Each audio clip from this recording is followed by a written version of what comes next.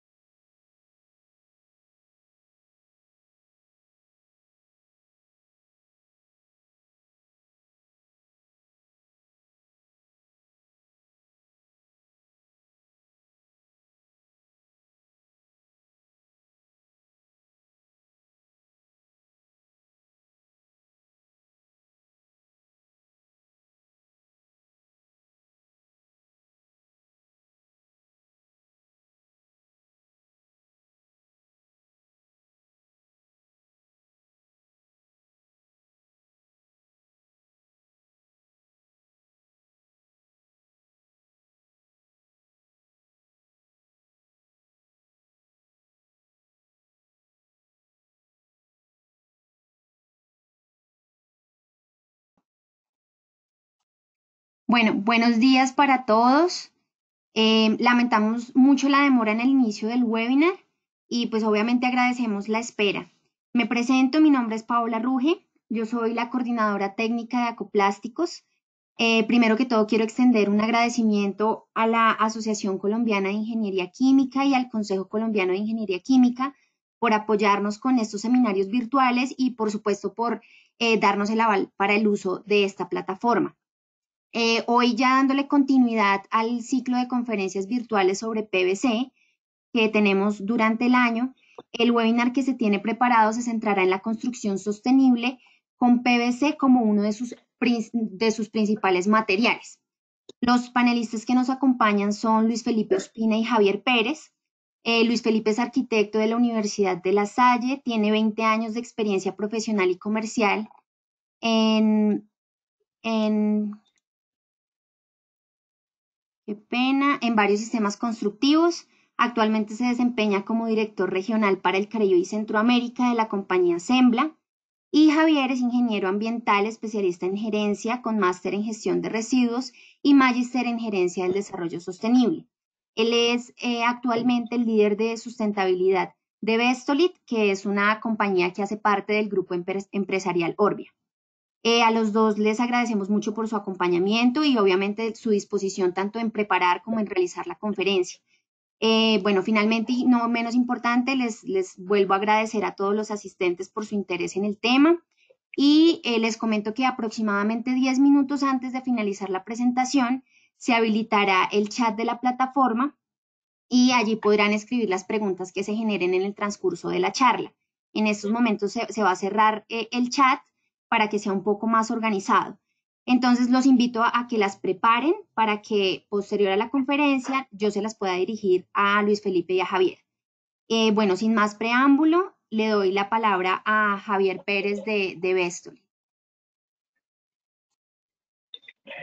Paola, buenos días. Eh, bueno, agradezco enormemente a, la Asociación, al Consejo a Acoplásticos por esta oportunidad que me brindan de poder estar con ustedes nuevamente compartiendo estos espacios de bastante interés para el crecimiento de nosotros como individualmente, pues como profesionales, como compañías y como sector. Bueno, eh, hoy la idea de hoy es eh, complementar un poco la información que de pronto ya habíamos, habíamos venido entregando en, ciclos anteriores o en webinars anteriores. Eh, iniciamos con el ciclo de vida de las tuberías de PVC, donde pudimos compartir un poco acerca de los beneficios todos los impactos positivos que podría tener el PVC a lo largo de su ciclo de vida. En este caso, pues vamos a hablar de la, de la construcción sostenible. Eh, voy a hacer una breve introducción sobre el material, sobre estos impactos, profundizar un poco más en esto. Y eh, pues tendremos la, eh, le daremos paso a, Luis Felipe, que es básicamente quien, quien va a hoy poder, eh, quien va a presentar a través de las diferentes estructuras habitacionales que ellos realizan o que ellos fabrican, cómo el PVC se adapta a la construcción sostenible. Entonces, siguiente, por favor.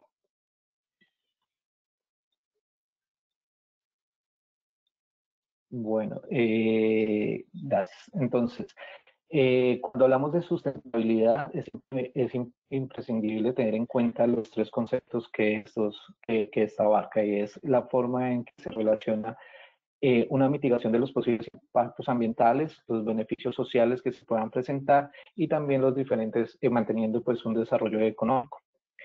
en este sentido, vamos a hablar de, vamos a hacer una breve introducción de, por, de cómo la, el PVC en términos económicos se adapta a las necesidades de la construcción sostenible, también cómo este puede tener un menor impacto ambiental respecto a, otras, otras opciones del mercado y cómo este se, eh, es totalmente fiel para solucionar los principales retos del mundo. Siguiente, por favor. Entonces, empezaremos por mostrar cómo eh, el, el PVC, eh, siguiente, por favor como el PVC eh, a lo largo de su ciclo de vida presenta ciertas, ¿verdad? Ya. Vale. Gracias, perfecto. Entonces, para ejemplarizar, eh, cómo el PVC se adapta o es una de las principales opciones en términos económicos dentro de las diferentes aplicaciones para las que es usado. En el ciclo, en la conferencia pasada sobre tubería, habíamos nombrado algo de eh, cómo se ejemplariza o cómo se, se podría monetizar los diferentes impactos positivos que tiene el PVC en, a lo largo del ciclo de vida. Y para esto nombramos un producto, eh, perdón, nombramos un estudio que se llama el costo del producto, que ha sido desarrollado por un profesor italiano, apellido Marangoni, en el que él básicamente ha cogido cada una de las partes del ciclo de vida del PVC y las ha monetizado, lo cual y las ha comparado contra otras aplicaciones, con las mismas aplicaciones hechas de otros materiales. Entonces, en este caso, eh, digamos, para eh, tuberías de transporte de agua potable y también para tuberías de eh, tuberías sanitarias. Él ha, cogido, él ha tomado las diferentes, los diferentes eslabones del ciclo de vida de un producto, de la cadena de un producto y teniendo en cuenta desde la cuna, podríamos decir, perdón, desde que una persona compra su producto, porque acá la visión es cuánto cuesta poseer un producto para una persona, entonces cuando lo está comprando, vienen todos los costos asociados desde su fabricación, es decir, desde la cuna hasta la, hasta la puerta, por decirlo así, eh, del consumidor final. Y posteriormente, cuánto costará desde que el, consumidor final lo ha utilizado y llega hasta su final de, de, vida del producto. En esto él ha establecido y se ha realizado un estudio y entonces, digamos, en el caso de la tubería de agua, de agua, de transporte de agua potable, tenemos etapas como la compra, la instalación, el desmantelamiento del anterior, de, la tubería en caso de que haya sido, que sea desmantelamiento, digamos que no estamos, eh, que, estamos hablando de un reemplazo, que no estamos hablando de, la instalación, de una instalación nueva, pues en caso de que sea una instalación nueva, pues no se tiene en cuenta este ítem, el uso, el mantenimiento y al final cuánto me cuesta tener un producto. Entonces, cuando ustedes comparan el PVC, tenemos tuberías de los mismos diámetros, digamos acá vamos a ver la de tubería de, 3, de, 300 de diámetro, eh, lo comparamos contra fibra de vidrio, lo comparamos contra hierro, hierro útil, eh, perdón, y se dan ustedes cuenta que al final el costo del PVC es 9.3% más económico que la fibra de vidrio y puede llegar a ser 27%, 27.1% más económico que el hierro, que hierro, que hierro dúctil. Entonces aquí podemos empezar a ver cómo el PVC en términos económicos a lo largo de su ciclo de vida, cuando se ha monetizado, por decirlo, los impactos se han, monetizado, no hablemos de monetizar los impactos, sino se ha monetizado el costo que tiene para eh, una persona que adquiere un producto a lo largo de cada una de sus etapas y por, por, por, supuesto a lo largo de toda, de toda la vida del producto, el PVC termina teniendo un comportamiento que es más económico para la persona que lo está comprando. Igual, cuando vamos a ver en el costo total para una tubería de eh, una tubería sanitaria y vemos las mismas etapas en la, en, la, en, la, en la columna de la izquierda vemos las etapas y ya después en cada una de las filas podemos ver los diámetros eh, se compara en este caso para cuando tenemos tubería eh, sanitaria, lo comparamos con tubería de concreto y con tubería de arcilla, podemos ver que para un mismo diámetro, que podría ser en este caso, comparémoslo el de 630, es 14 puntos, perdón, 9.4% más barato el, es más económico o menos costoso para el dueño del producto a lo largo de su vida, a lo largo de su ciclo de vida, el PVC es 9.4% más económico que el concreto y eh, en el caso de la tubería de 630 mil, eh, milímetros de diámetro es 19.7 más económico que la tubería de arcilla. Entonces empezamos a ver en dos de las aplicaciones más utilizadas cómo el PVC presenta un comportamiento favorable para, el consumidor final en términos económicos. Eh, siguiente.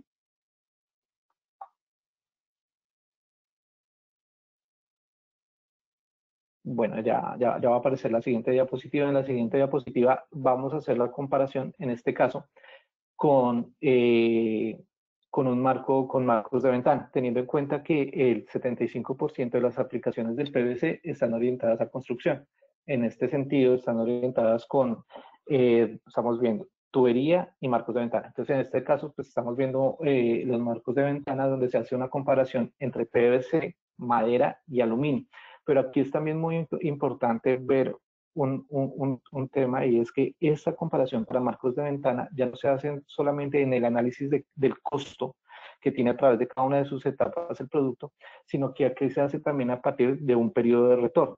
Es decir, cuando yo adquiero una tubería de PVC respecto a una tubería de aluminio y respecto a una tubería de, madera y la comparo con el precio, con la instalación, con los intereses, con el mantenimiento y empiezo a ver todos esos flujos de caja, pero adicionalmente eh, tengo en cuenta lo que yo estoy salvando en energía o lo que estoy ahorrando en energía a través de, su, de, de, cada una de las etapas de ese ciclo de vida y al final pues puedo sacar un valor presente neto y puedo hacer un análisis a partir de ese valor de presente neto de, de, de cuánto es mi periodo de retorno, encontramos que cuando una persona adquiere un marco de ventana en PVC, tiene un periodo de retorno favorable por muchos años respecto a la madera y al aluminio.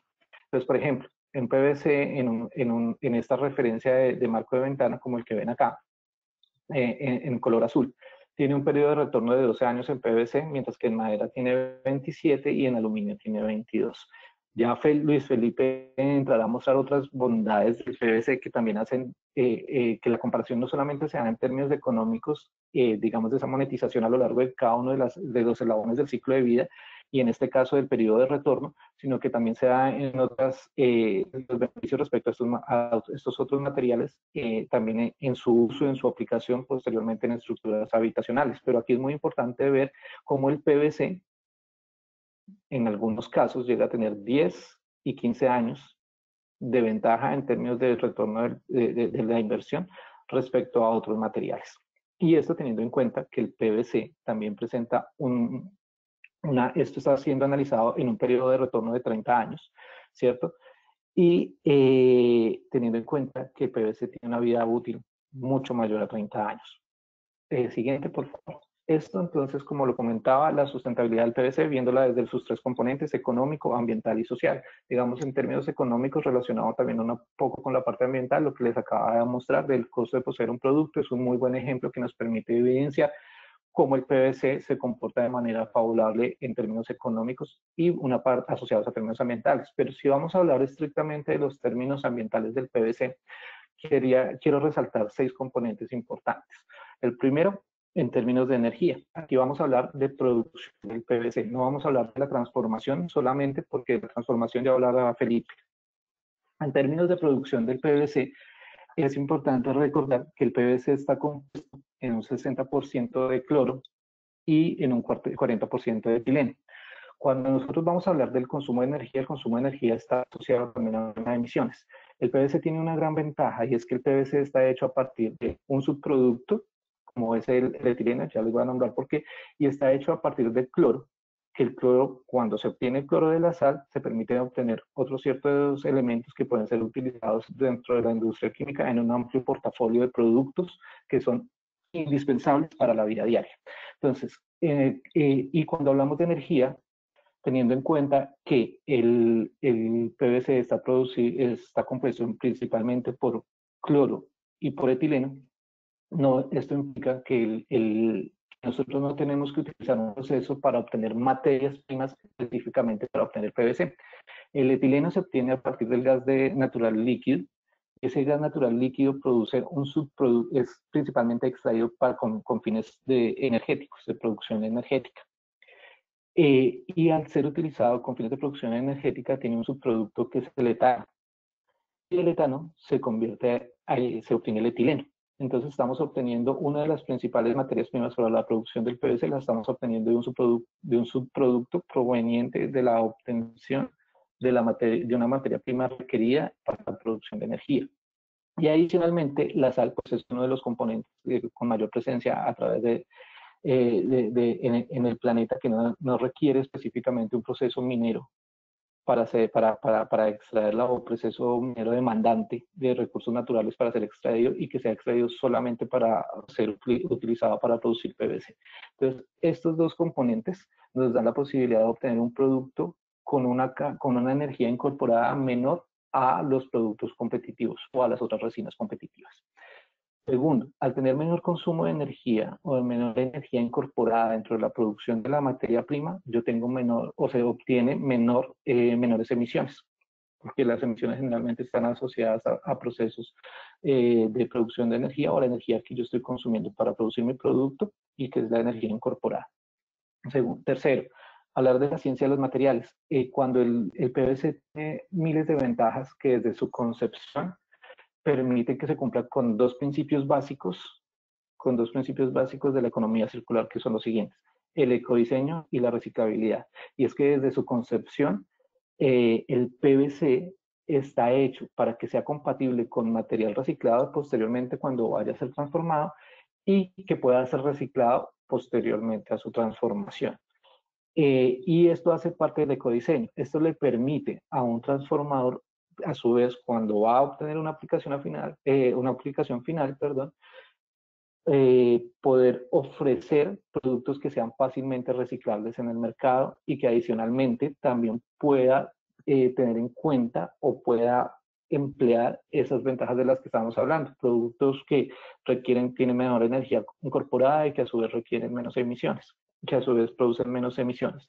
Entonces, todo esto facilita el ecodiseño, no solo en el tema de cómo yo estoy produciendo y el producto final que tengo que pueda ser reciclable, que sea fácilmente eh, incluido dentro de los diferentes ciclos de la, de la, economía circular o de los flujos de la economía circular, sino que también a nivel de proceso puedo tener un producto con menor impacto ambiental. En términos de reciclabilidad, pues lo, nombramos lo hemos nombrado en diferentes, en diferentes exposiciones, sin embargo lo recordamos, el PVC puede ser reciclado hasta ocho veces sin perder sus condiciones mecánicas. Y ya Luis Felipe también hablará cómo tienen la capacidad de producir estructuras habitacionales que pueden ser posteriormente recicladas y, que puede ser, eh, pueden ser eh, manejadas con material reciclable. Y en términos de eficiencia de recursos, el PVC, eh, al ser un material liviano, después de que es transformado, pues requiere también menor consumo de energía tanto en su transformación como en sus aplicaciones finales.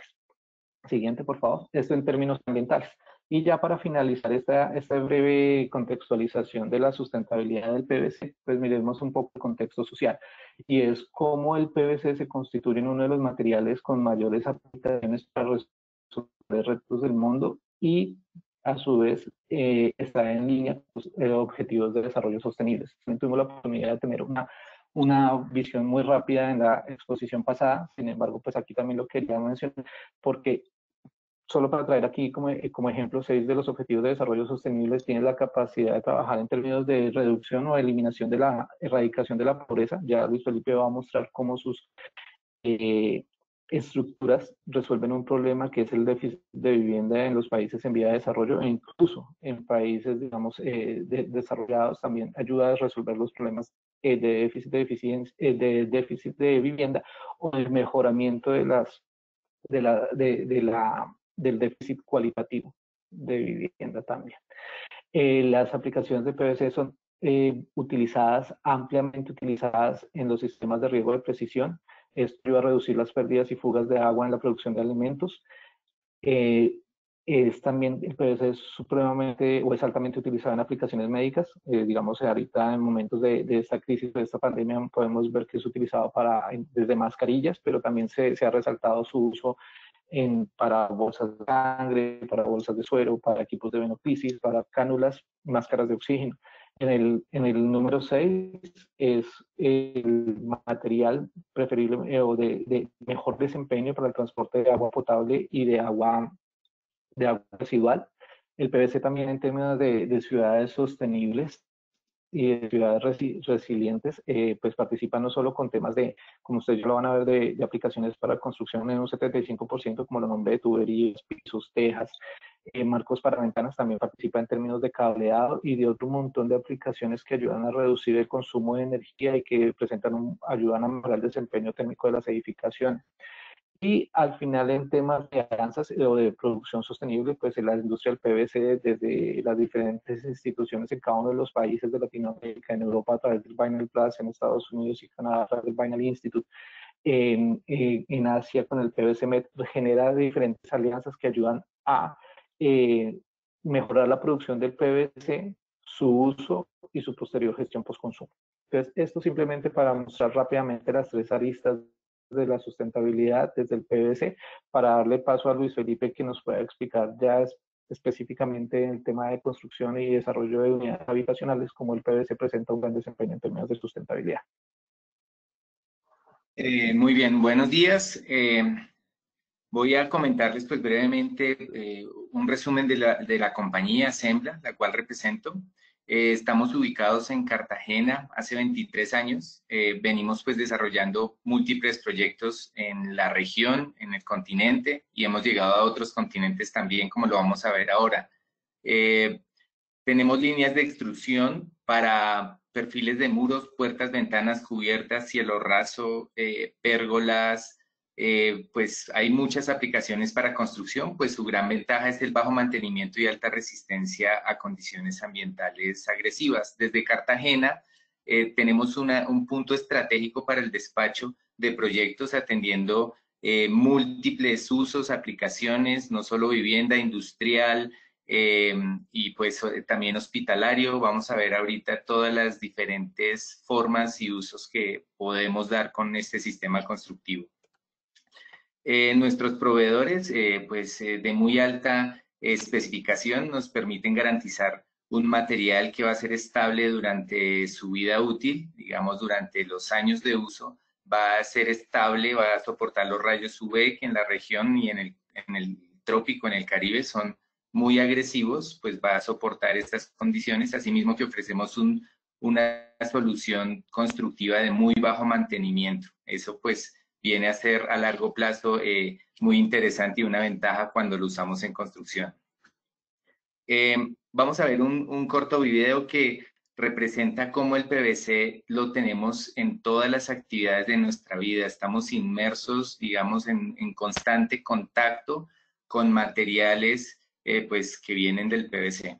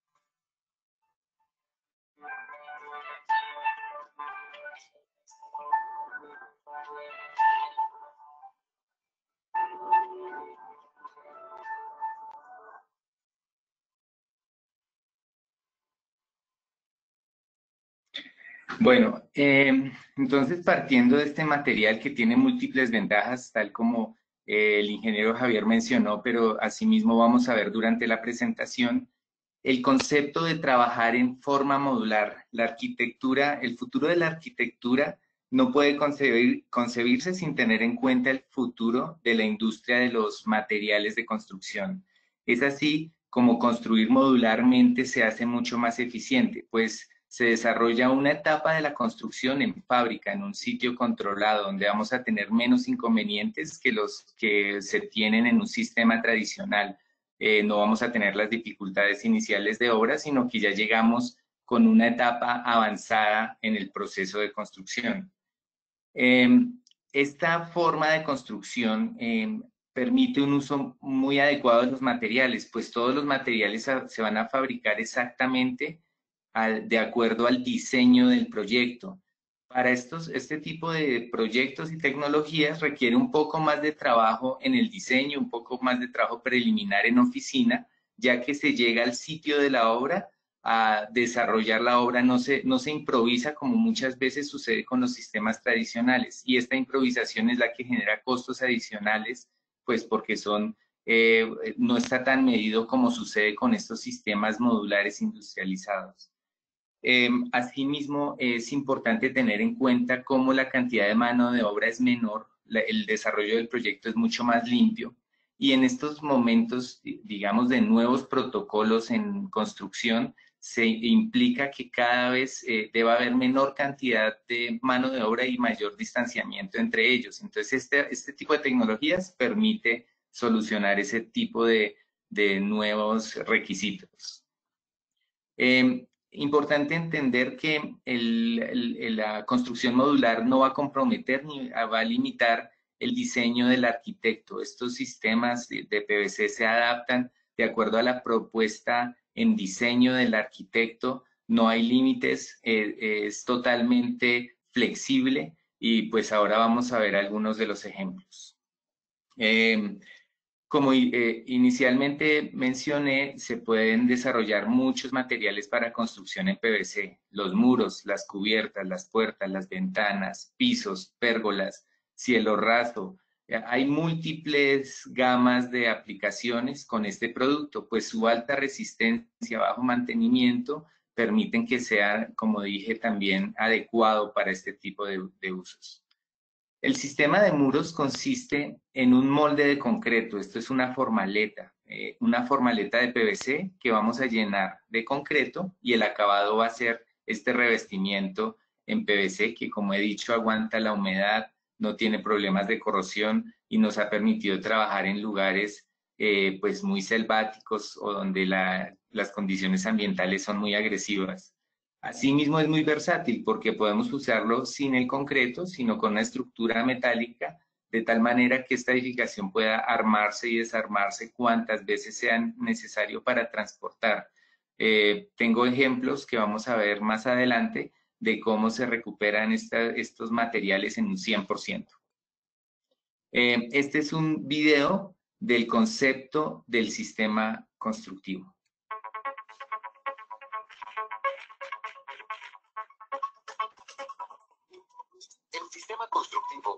De hacer.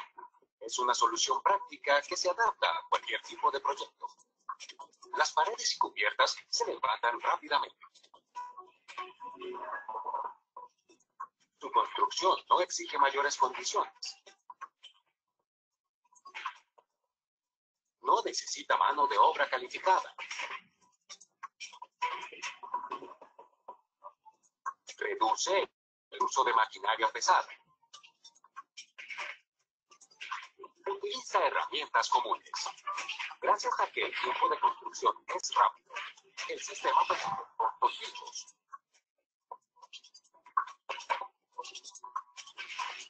Los paneles, fabricados a partir de materiales termoplásticos de última generación, se elaboran a la medida de cada proyecto, dando generar desperdicios y optimizando materiales.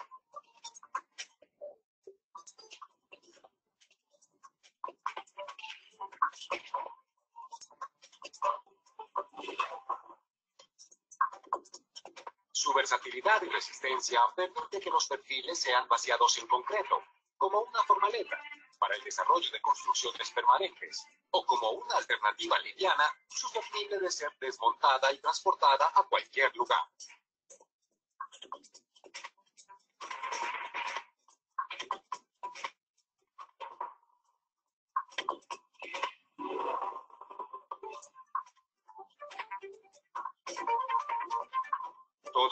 Se traduce en mayor economía para el constructor.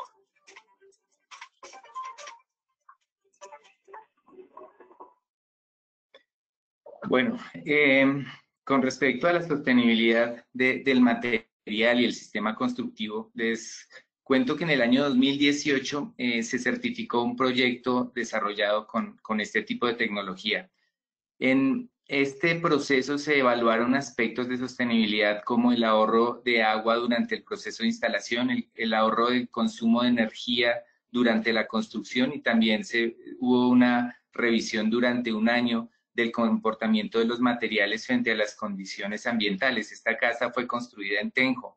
Eh, digamos, tiene bastantes cambios de temperatura a lo largo del día. Entonces, eh, este tipo de edificación, eh, al ser tan hermética y tan aislante, permitió mantener un microclima dentro del espacio, lo cual le daba confort a sus usuarios. Asimismo, se evaluó rapidez de instalación y la generación de residuos que fue mínima. Al, eh, también el impacto positivo que tuvo sobre la comunidad, pues se logró incluir trabajadores locales durante el desarrollo de este proyecto. Eh, es importante entender que el PVC no es un plástico de un solo uso. En este caso, eh, pues como les mencioné, para edificaciones livianas, se puede armar y desarmar cuantas veces sea necesario, recuperando un 100% del material. Asimismo, el PVC, pues, eh, se puede, su vida útil puede llegar a 100 mm, años y, pues, como mencionaron ahora, como dijo Javier, eh, puede reciclarse hasta 8 veces. Entonces, eh, tiene unos ciclos de vida muy largos. el material tiene una alta eficiencia en aislamiento térmico, pues tiene baja conductibilidad de temperatura, lo cual lo hace un envolvente. La piel del edificio de muy alta eficiencia. Es decir, con un buen diseño bioclimático, nuestras edificaciones pueden tener eh, un comportamiento pasivo, es de ahorro energético. Eh, por eso mismo, eh, nuestro PVC o el panel, el muro tiene solo 64 milímetros de espesor, lo cual con una menor masa, digamos, un menor tamaño de muro nos permite una alta capacidad de aislamiento. Esto es óptimo para proyectos de vivienda social donde con sistemas tradicionales tenemos muros de 12, de 12 centímetros, en este caso tenemos de 6.4 centímetros, lo cual permite ahorro en espacios que para el caso de vivienda social son muy valiosos estas áreas adicionales. Eh, como dije, pues el material se fabrica exactamente de acuerdo al diseño, por lo cual no se genera escombro como se genera convencionalmente. En una edificación tradicional puede llegarse a generar hasta un 30% de desperdicio. Estamos llegando a un punto donde ya eh, los botaderos no dan abasto ante tanta contaminación que se está generando por la construcción.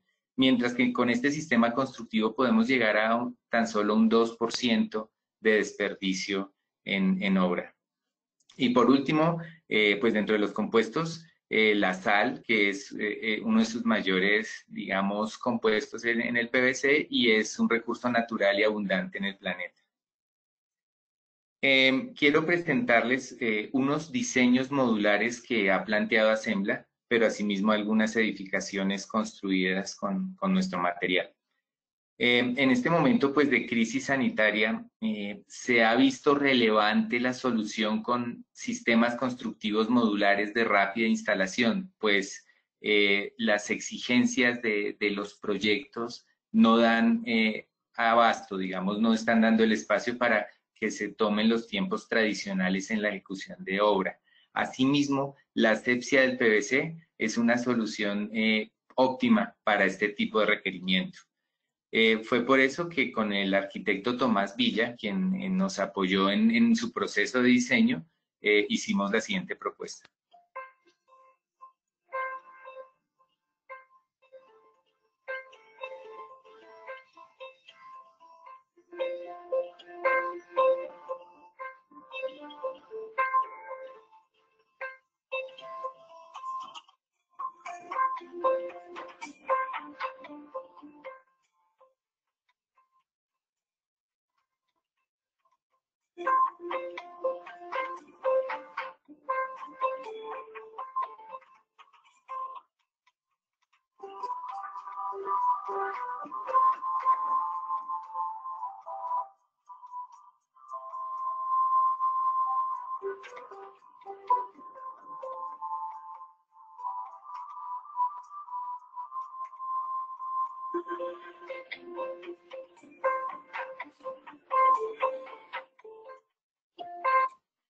Para esta propuesta, el arquitecto tuvo en cuenta lo liviano del material, lo hermético que se genera, los espacios herméticos que generan con este tipo de construcciones y la asepsia. Digamos, eran puntos fundamentales para escoger este tipo de material para este tipo de solución.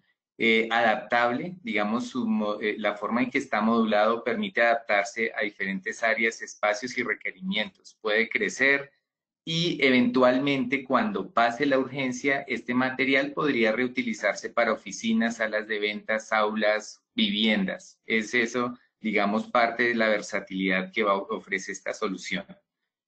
En Colombia hemos venido trabajando con el Ministerio de Protección Social eh, y con el Ministerio de Salud, desarrollando proyectos a lo largo y ancho eh, del país. Hemos trabajado en La Guajira, hemos trabajado en Cauca, en el Chocó, en lugares de muy alta humedad, de difícil, eh, eh, digamos, logística para el transporte. Entonces, un material de rápida instalación es una solución eh, obvia.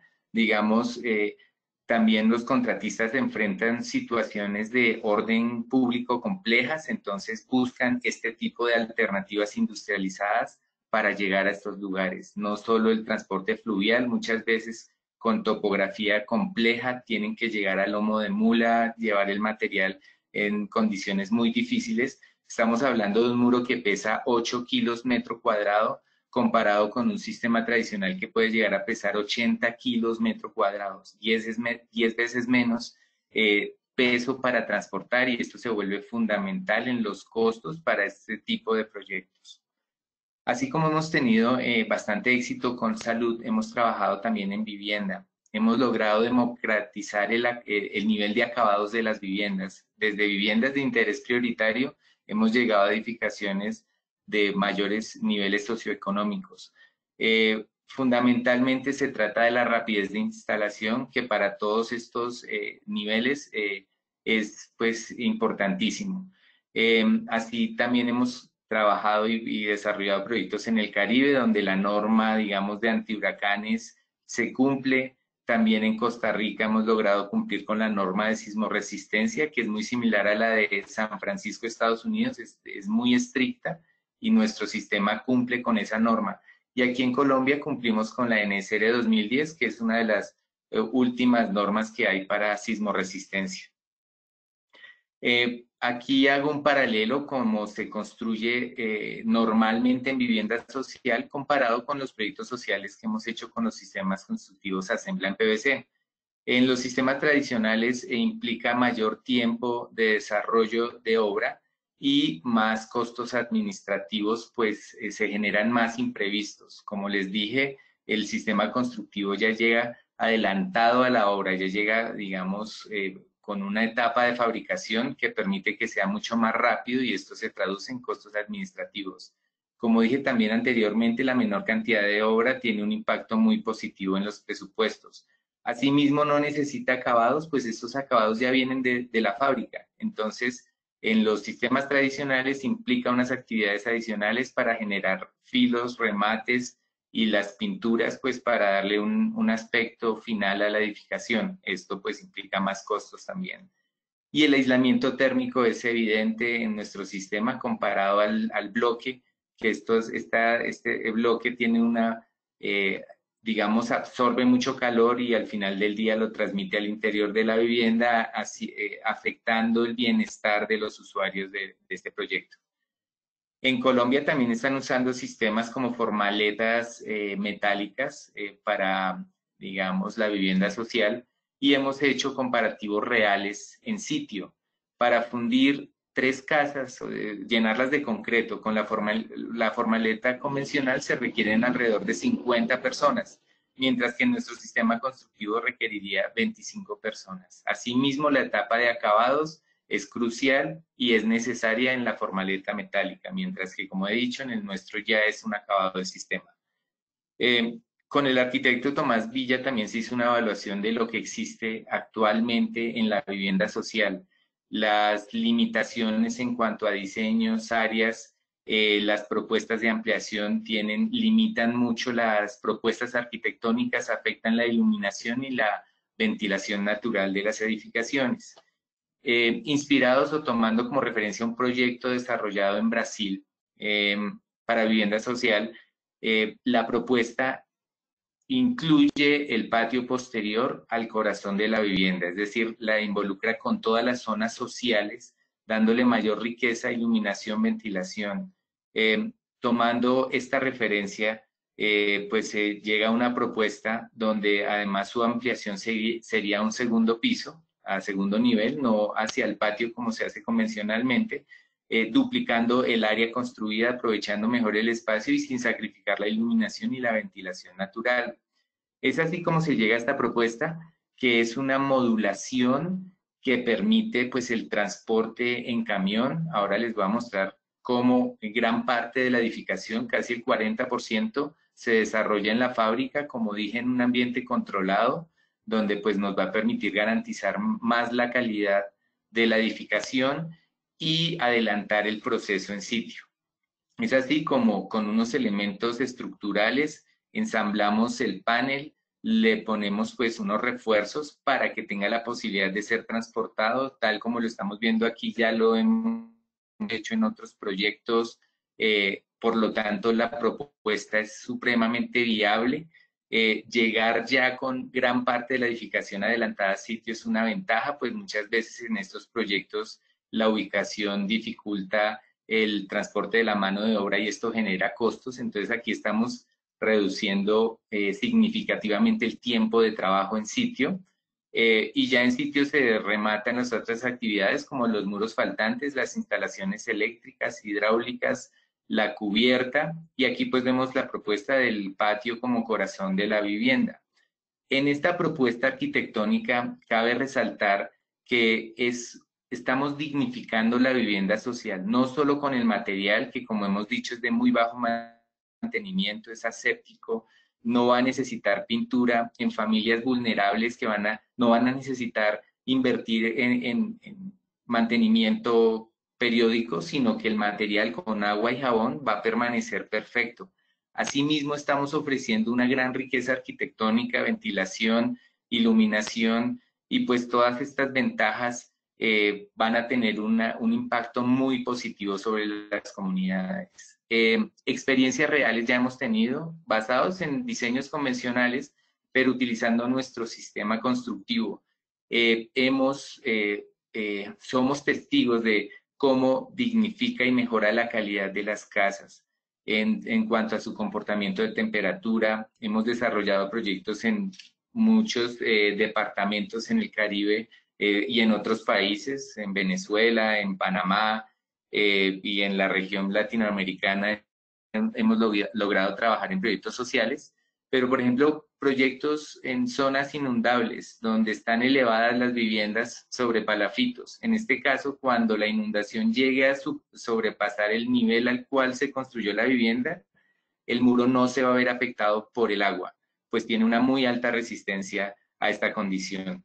Entonces estamos ofreciendo una solución de muy alta especificación. Así como hemos trabajado en vivienda social, pues también hemos trabajado en otros tipos de proyectos, casas de campo, hemos trabajado en viviendas fiscales eh, de más de 20 años de construidas y que pues a la fecha no han gastado un solo peso en pintura y mantenimiento. En condiciones, por ejemplo, en San Andrés, donde tenemos salinidad perimetral todo el año, eh, las temperaturas, la radiación UV es muy agresiva y se mantiene estable el material. Em, ampliaciones, proyectos eh, particulares, pero también, como mencioné, con gobiernos, como se trabajó alguna vez en Venezuela, donde se hicieron más de 3.500 viviendas, en Panamá ya van más de 7.000 viviendas construidas, entonces hemos trabajado también a niveles muy amplios eh, digamos, proyectos macro. Todas estas ventajas también son súper interesantes para aplicarlas en educación. La rapidez de instalación, llegar a lugares de muy, difícil acceso. Hemos trabajado con el Ministerio de Educación, con la Organización Internacional para las Migraciones, donde se han logrado desarrollar proyectos bioclimáticos, es decir, aulas que conservan temperaturas adecuadas para que los estudiantes tengan un espacio óptimo para el desarrollo del conocimiento. Hemos trabajado en el Chocó, en Cauca, en Nariño, lugares de muy alta humedad. En el Chocó pues tenemos eh, experiencias donde con las edificaciones convencionales, con las cubiertas metálicas, cuando llovía, la clase se veía interrumpida, pues el profesor no podía hablar por el ruido que se generaba con este, con este techo metálico. Mientras que con la cubierta de PVC el aislamiento eh, ha sido totalmente, eh, ha sido muy radical, a, diferencia del sistema tradicional. Entonces, con el, la cubierta de PVC se reducen los decibeles dramáticamente, permitiendo un ambiente mucho más adecuado para las clases. Eh, así como hemos trabajado en lugares de muy difícil acceso, también eh, hemos trabajado en ciudades principales, por lo general haciendo edificaciones temporales, por ejemplo, eh, cuando se necesita en, un, en una universidad o en un colegio el refuerzo estructural, hacemos rápidamente aulas provisionales para atender a los estudiantes mientras que arreglan la edificación principal y después de dos años este material se reutiliza en otro tipo de uso. Un día es aula y el otro día puede ser un puesto de salud o, otro tipo de uso. Eh, también hemos llegado a la industria. En la industria, eh, pues todas las ventajas mencionadas, la modularidad es una ventaja para trabajar en este tipo de proyectos porque también los tiempos de ejecución son muy cortos y definitivamente en sistemas tradicionales no es posible hacer este tipo de proyectos. Eh, quería mostrarles esta última diapositiva donde un proyecto fue una feria de construcción en Azocreto en el año 2016. Un cliente la compró para hacer su sala de ventas que después de usarla unos años como sala de ventas, se la vendió a un último cliente que está haciendo la casa de su finca, que es la foto derecha. Entonces, es la versatilidad, es la reutilización y es el poco desperdicio que se genera con este tipo de materiales. Eh, bueno, hasta aquí fue la presentación eh, y cualquier duda, pues eh, estoy aquí atento. Listo, muchísimas gracias Luis Felipe y Javier por su presentación. realmente fue bastante fructífera. Creo que nos quedaron, nos quedaron unas dudas resueltas en general. Eh, los videos también muy educativos. Y bueno, eh, invitamos a los asistentes a que realicen sus preguntas, las formulen a través del chat. Yo las estaré eh, transmitiendo. Ya recibimos una. pregunta Carlos Briñez, ¿qué tan cierto es que los vapores de las partes plásticas son fuentes cancerígenas? Y si este material en PVC puede llegar a serlo. Eh, Javier, ¿responde o respondo yo? En, Javier, si está. Bueno, ah. sí, eh, acá nosotros tenemos diferentes estudios donde se hace el tema de, transferencia de, posibles eh, elementos que podrían ser cancerígenos para, supuestamente cancerígenos, eh, y realmente la, la, emisión, la posible transferencia es menor en partes por millón a la exigida por la ley. Ya, eh, existen estudios a lo largo del tiempo acerca de este, de, de este tipo de, de, noticias que se han generado o de mitos que se han generado a partir de pronto de posiciones comerciales encontradas o demás, pero básicamente no, no los estudios por el momento no demuestran que a partir de, del uso del PVC se genere una transferencia que pueda ser letal o que pueda generar un tipo de enfermedad cancerígena para, para el usuario. Bueno, y, desde Assembla puedo contar que en la empresa ya casi 24 años de, de vida aquí en Colombia, en Cartagena, hay operarios que llevan este mismo tiempo trabajando pues con las resinas, con los productos y no ha habido ningún caso de esta naturaleza. Listo, perfecto. Eh, Ricardo Santana pregunta, ¿quién fabrica los paneles y cómo se recicla el PVC para fabricarlos? Eh, bueno, eh, la, fábrica es Assembla en Cartagena. eh, tenemos un molino donde hay un reproceso, eh, eh, podemos reprocesar PVC, por lo general sobrante de, otros perfiles que, fabricamos en, la planta, es decir, cuando hacemos perfiles de ventanas hay sobrantes, este lo molemos y lo hacemos parte del panel del muro, es decir, el, el panel de muro de asembla tiene 30% de material reciclado. Y Acoplásticos tiene una asociación para que compra el PVC para reutilizar.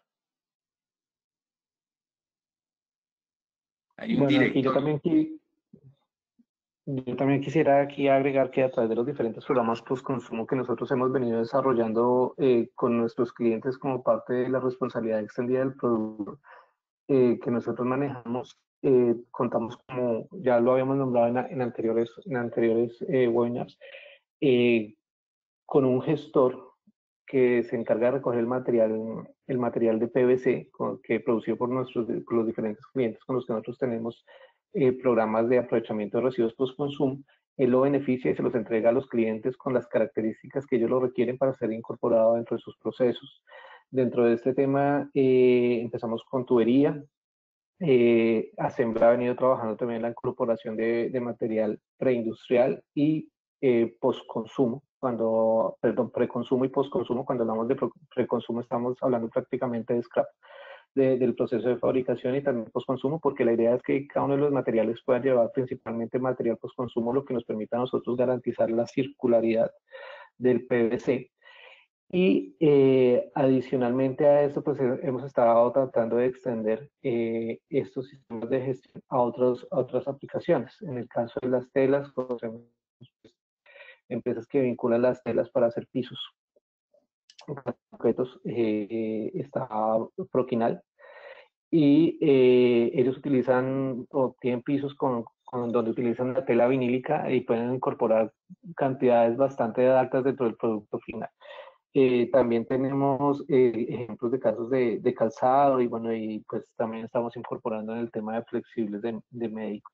Pero acá es importante resaltar lo que Luis Felipe, nosotros contamos con, el proceso de responsabilidad extendida del productor que nosotros tenemos. Contamos con un gestor certificado que recoge los residuos de PVC, los beneficia y se los entrega a productores o transformadores, en este caso como siempre en las, en las, características que ellos necesitan para incorporarlo dentro de sus productos. Listo, muchas gracias. Siguiente pregunta, dice Pedro Reyes. ¿Cuál es el valor de dilatación de este tipo de sistema constructivo? el factor de dilatación está eh, súper técnica la pregunta, se las debo, tendría que, o sea, tengo, yo, yo conozco algunos factores, pero diferentes productos, obviamente eh, es relativo pues a, la, masa del, del, material, entonces pues hay uno para el muro, hay otro para la cubierta y hay otro para los perfiles tubulares tendría que revisar fichas técnicas. No es una pregunta que reciba normalmente. Entonces, pues ahorita puedo enviarle a Paola la respuesta y para que se la haga llegar a la persona. Listo, perfecto. Ahí lo, dejamos pendiente. Eh, Juan Carlos. Gracias. Dice, ¿cómo se amortigua la expansión y contracción del PVC? Bueno, eh, tenemos, eh, pues precisamente hablando de las fichas técnicas, por ejemplo, el caso de, la, de las pérgolas, los tubulares que se usan en pérgolas, eh, pérgolas hay unos eh, coeficientes de movimiento del material y esto se calcula en los elementos, digamos, de anclaje. Se, se, se considera este movimiento pues para que el material no vaya a sufrir deformaciones. En el muro, realmente llega a ser, pues cuando ya se conforma con el concreto, eh, él puede tener algún movimiento muy leve, pero no va a generar ni fisuras ni problemas posteriores, no va a generar postventa. Eh, por eso, pues ahora verifico exactamente cuál es el coeficiente que tiene el muro. Y en las cubiertas pasa lo mismo, eso tiene desarrollos para los anclajes, para cuando el material se mueva, pues ya es algo calculado. Entonces, ya existen los elementos para calcular esos movimientos. Listo. Luis Humberto López pregunta, ¿han probado PVC espumado para sus perfiles?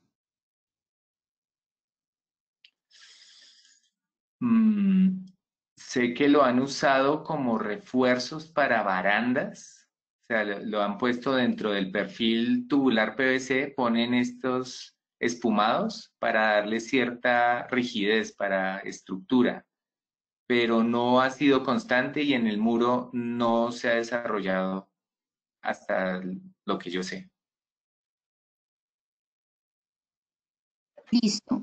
Carlos Bustos dice, diferencia de costos del sistema constructivo en PVC versus convencional en aplicación BIS, VIS. Sí, en vivienda social, eh, definitivamente el costo de asembla tiene eh, un porcentaje que puede estar alrededor del 10% por encima.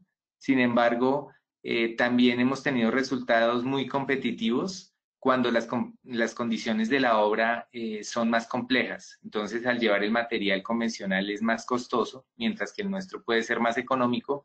Y cuando el desarrollo de la obra es mucho más rápido, esto como dije en la presentación, genera ahorros administrativos y podemos llegar a ser mucho más competitivos. Pero el costo original, eh, también tener en cuenta que en Colombia la vivienda social a veces es muy precaria, de muy baja calidad. Entonces estamos comparando un producto totalmente terminado, de bajo mantenimiento y larga vida útil, con una muy buena especificación, muchas veces con un bloque gris muy sencillo. Entonces hay que saber contra qué nos comparan eh, han venido mejorando la calidad de la vivienda social, por lo tanto, esto nos ha permitido ser más competitivos.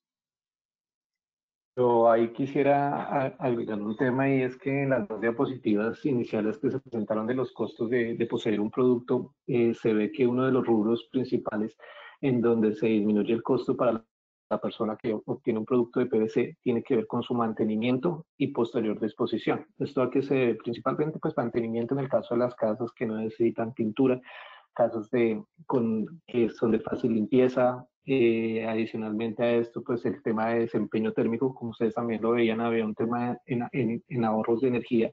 Entonces, una, una casa que, que, tiene un buen aislamiento térmico, pues permite también eh, reducir los costos, bien sea por calefacción o bien sea por aire acondicionado, dependiendo de dónde se encuentre, y adicionalmente el tema de disposición.